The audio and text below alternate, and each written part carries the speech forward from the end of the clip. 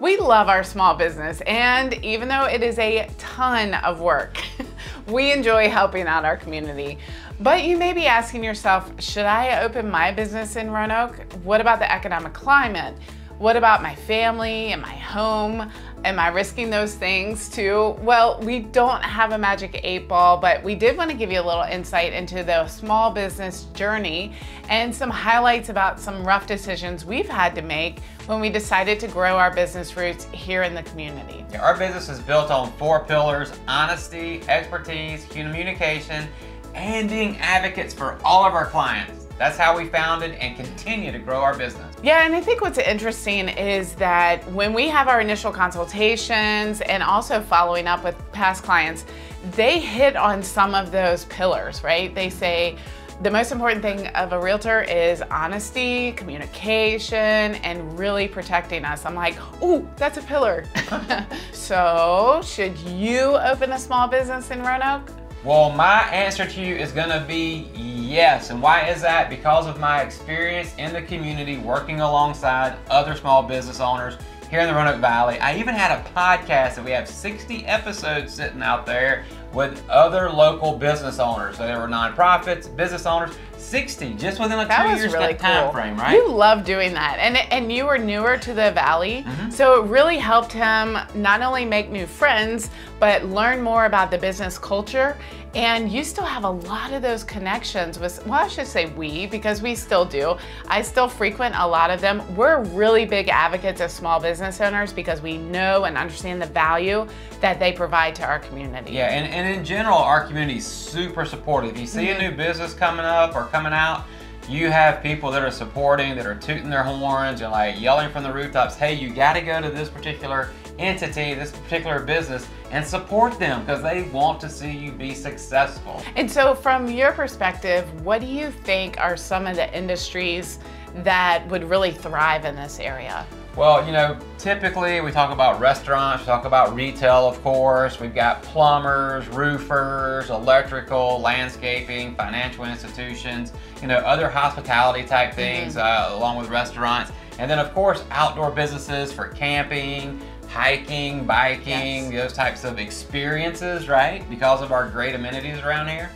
Yeah, and what about tech space? Because I've seen a lot more people coming here that have opportunities to work remotely or they're building up some tech opportunities. Yeah, so so tech's not as big per se, but I mean we do have access to Tech Center over by Virginia Tech over in Blacksburg. We do have high-speed internet here, so if you're looking to do something on the tech side, I don't think it's a bad thing. You've got the resources and the infrastructure here that could actually help set you up for success on that front. Yeah, and you made a good point with the um, proximity of colleges and universities to our area.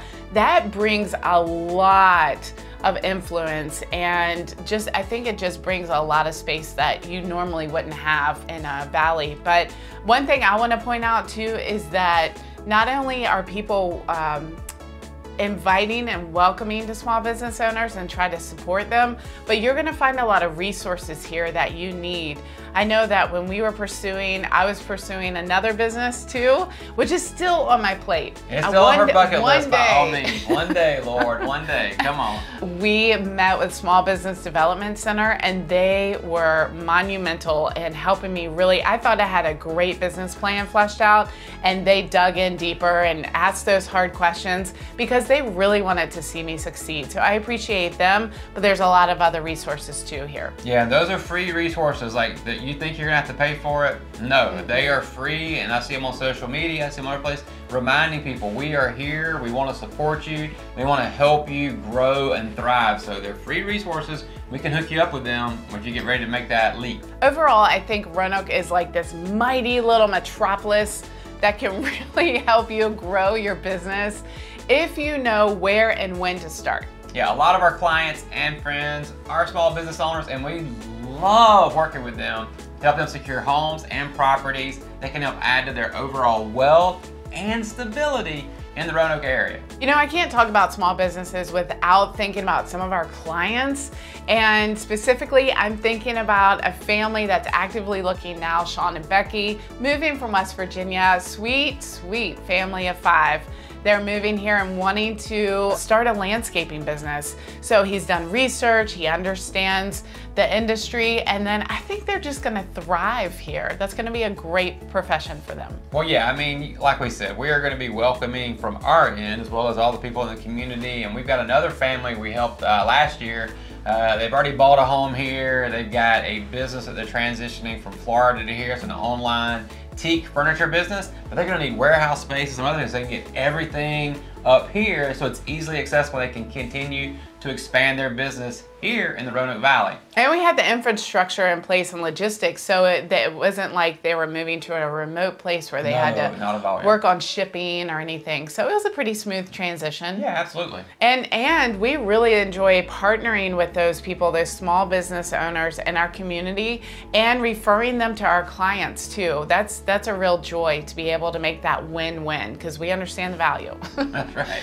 But hey, look, we know that starting a business and managing a family and and just trying to even have a social life can be really complicated. But, but it's worth it for us, and we feel honored and grateful to help our clients achieve their professional and personal goals. So if you're interested in moving to the Roanoke area to open a small business, or if you're looking to expand your business into a new area, give us a call today and we would love to chat and see what type of business you are thinking of opening.